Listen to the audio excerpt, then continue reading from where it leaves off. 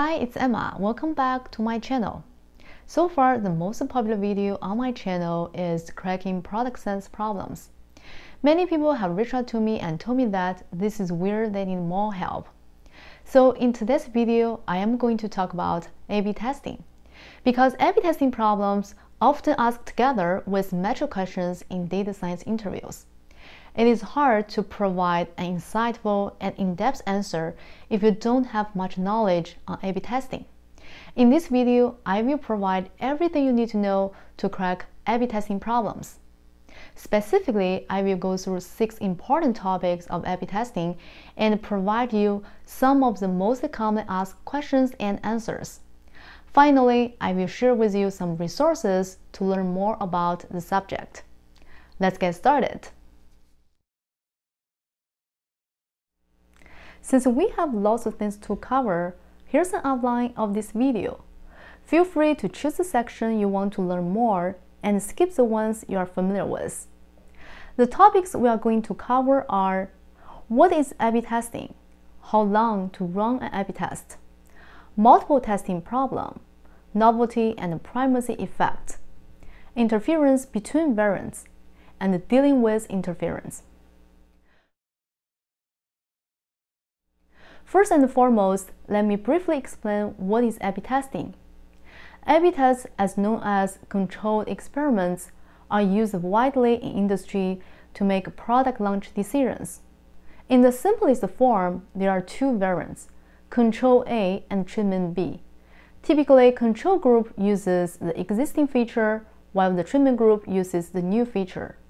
A-B testing allows tech companies to evaluate a feature with a subset of users to infer how it may be received by all users. A-B testing is one of data scientists' core competencies, so A-B testing questions appear frequently in data science interviews. They are typically asked together with metric questions, and the questions can appear in any component of A-B testing, including developing new hypotheses designing A-B tests, evaluating test results, and making ship or no ship decisions. The second topic is about designing an A-B test, specifically how long to run an A-B test. This is one commonly asked question during interviews. To decide the duration of the test, we need to obtain the sample size and three parameters are needed to get it. These parameters are type 2 error or power. Because power equals to 1 minus type 2 error, you know one of them, you know the other. The significance level and the minimum detectable effect. The rule of thumb is sample size approximately equals to 16 multiplied by sample variance divided by delta square, whereas delta is the difference between treatment and control. I know some of you may be interested in learning how we come up with the rule of thumb formula, so I have another video to explain it step by step. Feel free to check out the link in the description. During the interview, it's not required to derive the formula, but you want to talk about how each parameter influences the sample size. For example, we need more samples if the sample variance is larger, and we need less samples if the delta is larger. Sample variance can be obtained from the data, but how do we estimate the difference between treatment and the control? Actually, we don't know that before we run experiment. And this is where we use the third parameter, the minimum detectable effect. It is the smallest difference that would matter in practice. For example, we may consider a 0.1% increase of revenue as a minimum detectable effect. In reality, this value is decided by multiple stakeholders. Once we know the sample size, we could obtain the number of days to run the experiment by dividing the sample size by the number of users in each group. If we have the number less than 14 days, we typically would run for 14 days to capture the weekly pattern. Sometimes we run tests with multiple variants to see which one is the best amongst all the features. It can happen when we want to test the multiple colors of a button or test different home pages. then we'll have more than one treatment group. A sample interview question is, we are running 10 tests at the same time, trying different versions of our landing page. In one case, test wins and the p-value is less than 0.05. Would you make the change? The answer is no. In this case, we should not simply use the same significance level 0.05 to decide whether the test is significant because we are dealing with more than two variants and in such a scenario, the probability of false discoveries increases. For example, if we have three groups to compare, what is the chance of observing at least one false positive, assuming the significance level is 0.05? Well, we could get the probability that there's no false positives and it would be 0.95 to the power of 3. Then we can obtain the probability that there's at least one false positive. With only three groups, the probability of false positive or type 1 error is over 14%. This is called the multiple testing problem. There are several ways to deal with the multiple testing problem. One commonly used method is Bonferroni correction. It divides the significance level by the number of tests. For the interview question, since we are measuring 10 tests, then the significance level for the test should be 0.05 divided by 10, which is 0.005. Basically, only if a test shows a p-value less than 0.005, we claim it's significant. The drawback of this method is it tends to be too conservative. Another method is to control false discovery rate, FDR. FDR is the expected value of number of false positives divided by number of rejections. It measures out of all the rejections of the null hypothesis, that is, all the metrics that you declare to have a statistically significant difference how many of them have a real difference as opposed to how many were false positives. This only makes sense if you have a huge number of metrics, say hundreds. Suppose you have 200 metrics kept FDR at 0.05. This means you are okay with seeing false positives 5% of the time. You will observe at least one false positive in those 200 metrics every time. When there is a change in the product, people react to it differently. Some are used to the way it works and are reluctant to change. This is called primacy effect or change aversion. Others may welcome changes and a new feature attracts them to use more.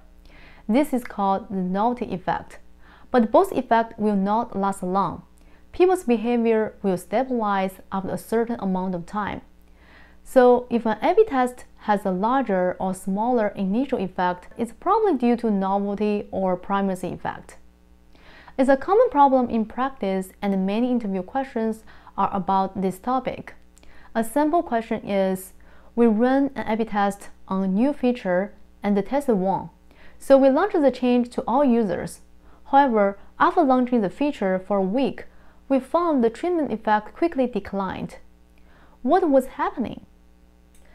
The answer is the novelty effect. Over time, as the novelty wears off, repeat usage will be small, so we observe a declining treatment effect. Now you understand both novelty and primacy effects. How do we deal with them? One way to deal with such effects is to completely rule out the possibility of those effects. We could run tests only on first-time users because novelty effect and the primacy effect obviously don't affect such users. But if we already have a test running and we want to analyze if there's novelty effect, we could compare first-time users versus old users' results in the treatment group to get an actual estimate of the impact of novelty effect. Same for primacy effect.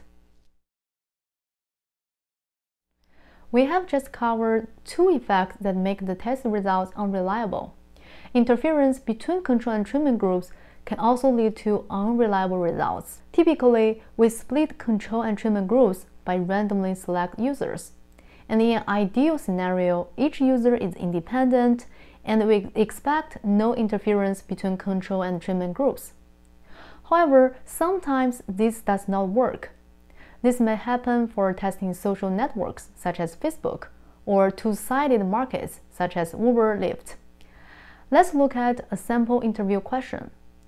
Company X has tested a new feature with the goal to increase the number of posts created per user. They assign each user randomly in either control or treatment group. The test won by 1% in terms of the number of posts.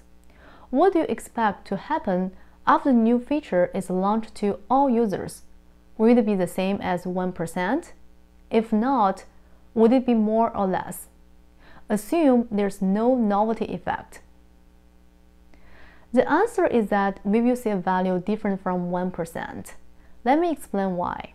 In social networks such as Facebook, LinkedIn, and Twitter, users' behavior is likely impacted by that of people in their social circles. A user tends to use a feature or product more often if their friends use it. This is called a network effect. So if we use user as a randomization unit, and the treatment has an impact on users, the effect may spill over to the control group. That is, people in the control group are influenced by those in the treatment group. In that case, the difference between control and treatment groups underestimates the real benefit of the treatment effect. So back to the question, there will be more than 1%. That's how network effect influences social networks. For two-sided markets such as Uber, Lyft, and Airbnb, interference between control and treatment groups can also lead to biased estimates of treatment effect. It is mainly because resources are shared among control and treatment groups, meaning control and treatment groups will compete for the same resources. For example, if we have a new product that attracts more drivers in the treatment group, less drivers will be available in the control group so we will not be able to estimate the treatment effect accurately. But different from social networks where the treatment effect underestimates the real benefit of a new product, in two-sided markets, the actual effect will be less than the treatment effect. Now you understand why interference between control and treatment can cause the post-launch effect different than the treatment effect. It leads us to the next question. How do we design the test to prevent the spillover between control and treatment? A sample interview question is, we are launching a new feature that provides coupons to our riders. The goal is to increase the number of rides by decreasing the price for each ride. Outline a testing strategy to evaluate the effect of the new feature. There are many ways to deal with the spillover between groups. The main idea is to isolate users in the control and treatment group. Here, I will just list out a few commonly used solutions. For two-sided markets, we could use geo-based randomization. Instead of splitting by users, we could split by geolocations. For example, we could have the New York metropolitan area in the control group and the San Francisco Bay Area in the treatment group. This will allow us to isolate users in each group, but it will have big variance since each market is unique in certain ways. The other method, though used less commonly, is time-based randomization. Basically, we select a random time, for example, a day of a week, and assign all users to each treatment or control group. It works when the treatment effect only lasts for a short amount of time. For example, if a new search price algorithm works better. It does not work when the treatment effect takes a long time to be effective. For example, a referral program.